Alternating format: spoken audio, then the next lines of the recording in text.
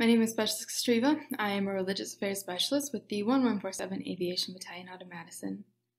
Here at the Chaplain Corps, we like to pull from religious texts, which I'm sure will surprise no one, uh, but not all of us are actually religious. And so, with that in mind, I wanted to talk a little bit today about uh, Captain Jack Sparrow. So, obviously, most of us are very different from Captain Jack Sparrow. I personally am not as cool uh, most of us are not pirates. Most of us are not captains. And most of us have better hygiene, which I think all in all is a pretty good thing. Uh, but really, the distinguishing feature between Captain Jack Sparrow and the rest of us is that we tend to care very deeply about other people. It can be that love for our families and our friends and our communities that makes living right now so difficult. I know I personally have never seen this level, or at least been aware of this level of divisiveness and violence in my home community in my lifetime.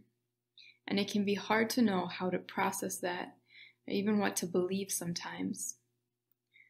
So I'd like to circle back to a word of advice from our good friend, Captain Jack Sparrow, who at one point, while uh, dangling his friend over the ocean, he says, The only rules that matter are these what a man can do and what a man can't do. And ignoring the first part for a bit because there are rules and the rules matter, it's important to recognize that there are things that we can and cannot do right now. So I know I personally cannot create a vaccine for the coronavirus, and I can't control when or if I get sick, but I can wash my hands and I can wear a mask and socially distance when appropriate to protect myself and my loved ones and the loved ones of others we as a nation cannot undo aspects of our history, but we can discuss and we can listen.